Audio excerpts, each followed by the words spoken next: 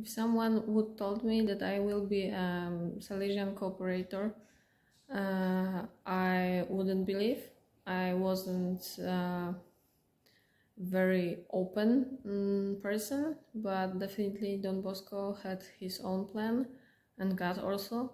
And I'm very happy that my brother uh, encouraged me somehow to stay close to Salesian after me leaving the, the school and definitely uh, having a good Salesian confessor and being invited to many different uh, events definitely helped me to, to grow and also to see that maybe there is a way to be more connected to this family.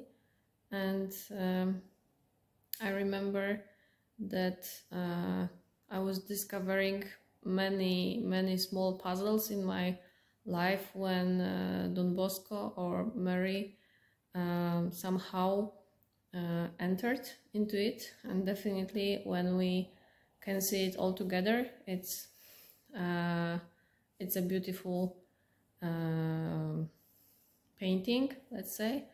So uh, I hope that I will still remember after many different many many years that uh, Don Bosco definitely uh, want me to to be in this family and even uh, in my uh, work there are Salesian roots so definitely I'm on the right place and I'm really happy to be in this family.